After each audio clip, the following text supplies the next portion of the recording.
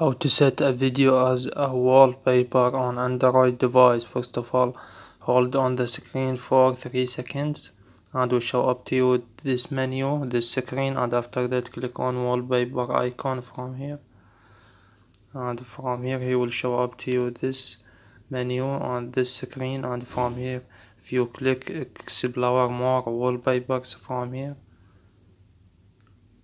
will show up to you all the themes you can use as you see from here. We have multiple themes and from here click on my stuff. And from here you can choose themes already you have and you can choose from your gallery app from your device tap on it and from here you can choose any video. For example I will choose this video I have here.